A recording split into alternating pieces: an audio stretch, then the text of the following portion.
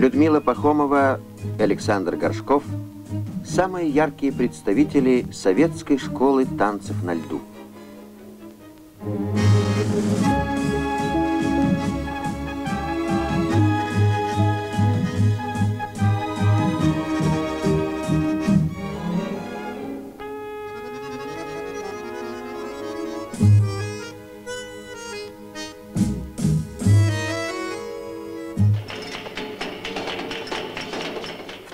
1976 году, когда этот вид спорта стал олимпийским, именно они открыли счет золотым олимпийским медалям.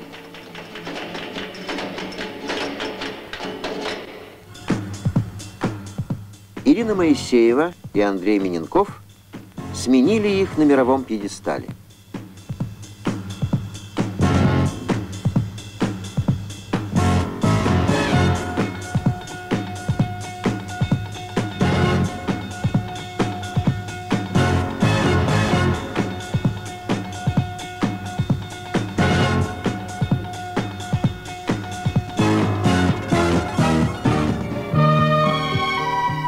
Олимпийское золото 80-го года в Лейк-Плесиде завоевали Наталья Линичук и Геннадий Карпоносов.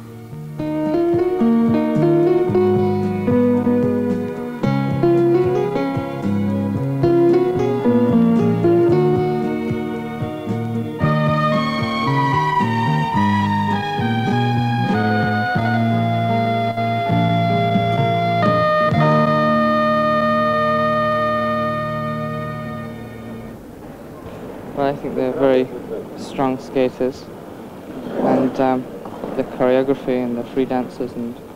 Мне кажется, советские фигуристы очень сильны. У них хорошая хореография, всегда что-нибудь необычное. Они никогда не повторяются. Высоко оценивают достоинство нашей школы танцев на льду зарубежные мастера. Но после ухода наших лидеров лучшими в мире оказались танцоры из Англии. Джейн Торвилл и Кристофер Дин. There's no chance romancing with a blue attitude. You know you got to do some dancing to get in the mood. Mr. Bunch will call a mom and daddy to you. You get a good all what good influence can do. I never felt so happy or so fully alive. So he's a jam and jumping is a powerful jive. Swingaroo is giving me a new attitude.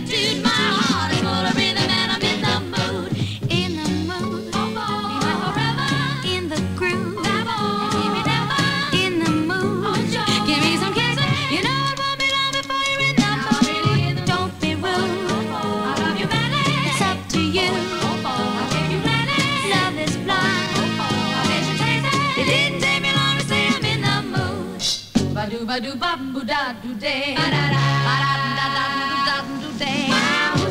Beautiful eyes? What those lips I try and emphasize? Hey, swing with me. What a wing it'll be. May I intrude this time dance? And I'm in the mood. Oh, darling, let's dance.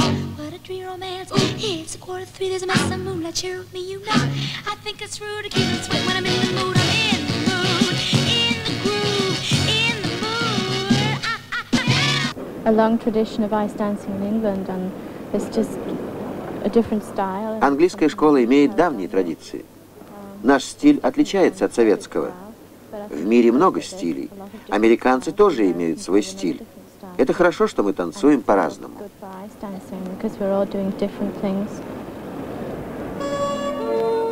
Да, в мире танцев на льду немало стилей, манер, направлений. Но из года в год – основное соперничество идет между мастерами английской и советской школ. Для англичан характерна традиционная трактовка танца, совершенная мягкая техника катания, пластическая цельность всего рисунка, изящное бесшумное скольжение –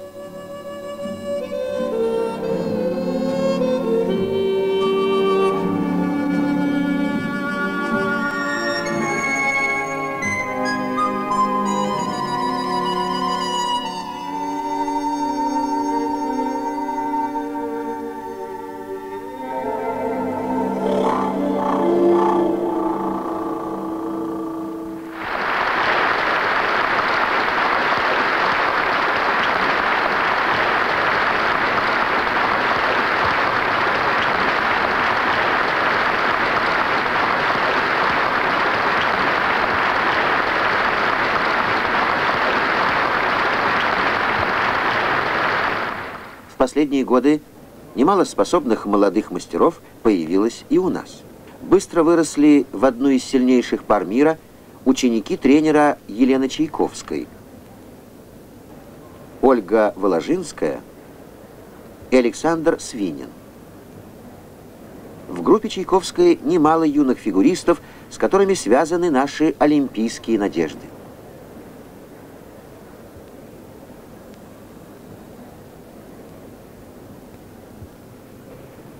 Наталья Бестемьянова и Андрей Букин тренируются у Татьяны Тарасовой.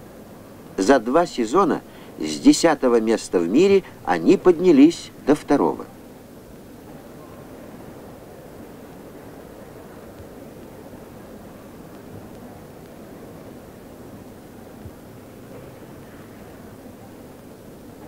Людмила Пахомова теперь уже опытный тренер. Ее ученики Елена Батанова и Алексей Соловьев дважды побеждали на мировых чемпионатах юниоров. Большие надежды связывают специалисты с воспитанниками тренера Натальи Дубовой.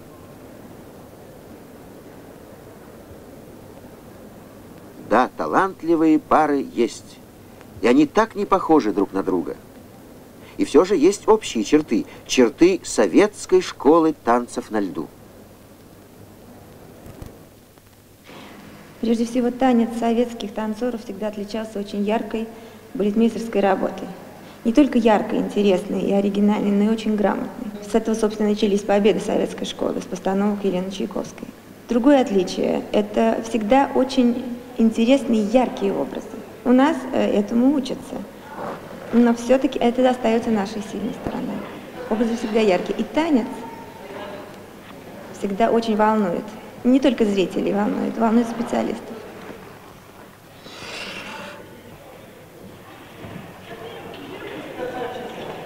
Танец волнует. Волнует как творение искусства. Хореография, сюжетность своеобразного спектакля на льду, сложность, артистизм.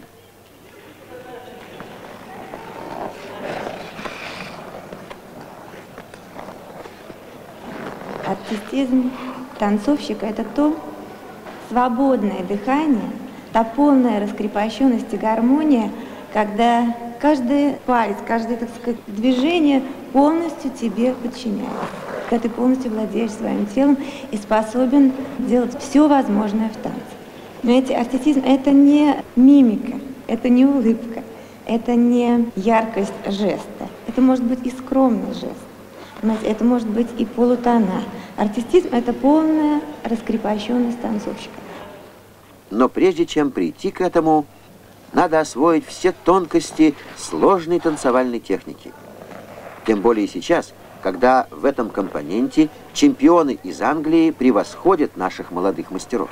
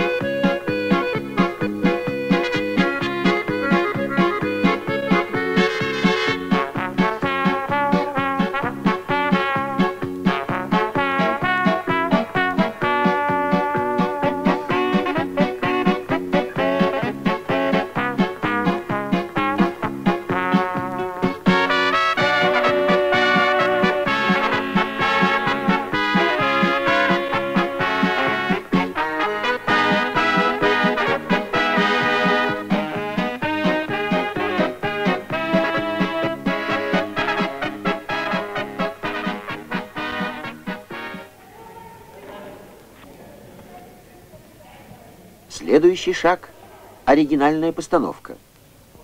Здесь на первом плане композиционная завершенность, сюжетность, но, разумеется, и сложность, и артистизм.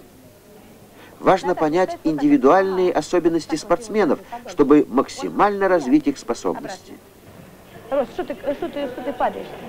Это, это жесткое должно быть движение вверх. Ты что падаешь, ты с ног? Вот так. Наташа, а- Наташа, а ты вот так. А ты на двух ногах можешь стоять ровно? А ровно ты можешь стоять? да? Вот без этого. Это с другой вот. Вот так.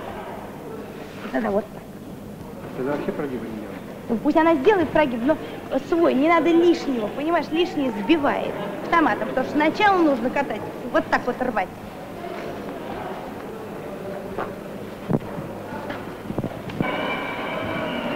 Тут надо, чтобы страшно было, чтобы это, понимаете, прям поражало, вот так трясло от вашего темпа, от эмоций, от всего.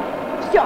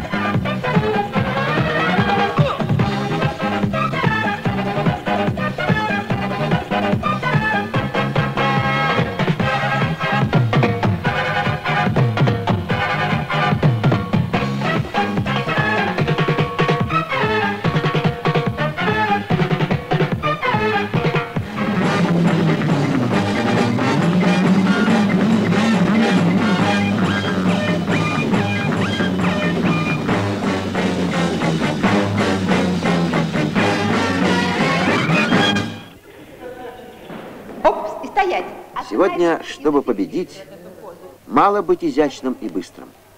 Важна каждая деталь, и нет мелочей в искусстве быть выразительным.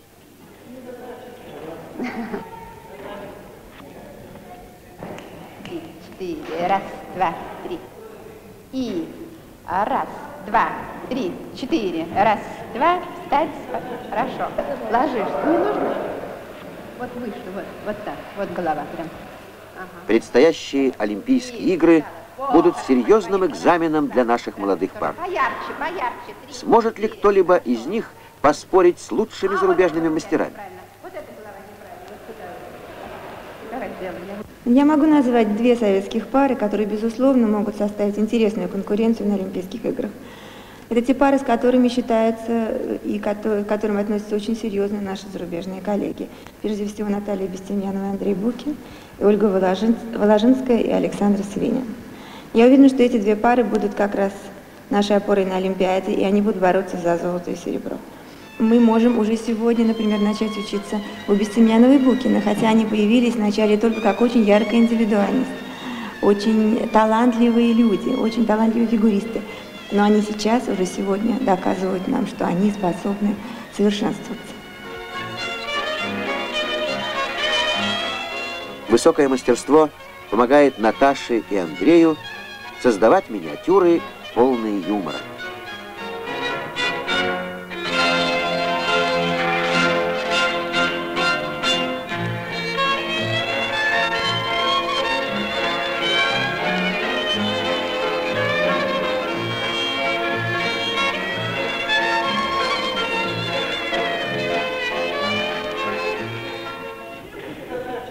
Государственный институт театрального искусства имени Луначарского. На балетмейстерском факультете экзамен. Постановка по мотивам Лермонтовского «Мцири».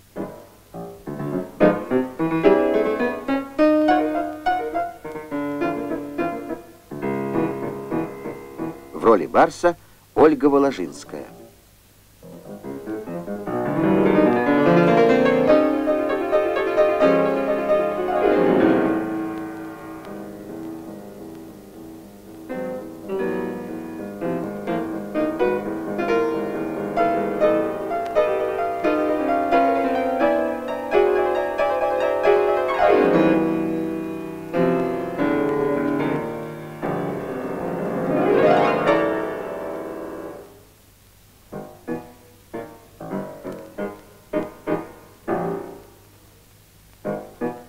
Мечта Ольги – самостоятельные постановки спектаклей балета. Может быть, и балета на льду. То, что предлагает ему жизнь, испытание. Это Барс. Он должен пройти через него и доказать свое право на существование, на право называться человеком. Ну Вот. В общем-то, этому и посвящен номер как борьба за свою свободу. Большинство наших сильнейших спортсменов – это школьники, студенты, аспиранты. В своих лучших постановках на льду они дарят нам свое вдохновение, свою радость в танцах, исполненных высокой сложности и подлинной красоты.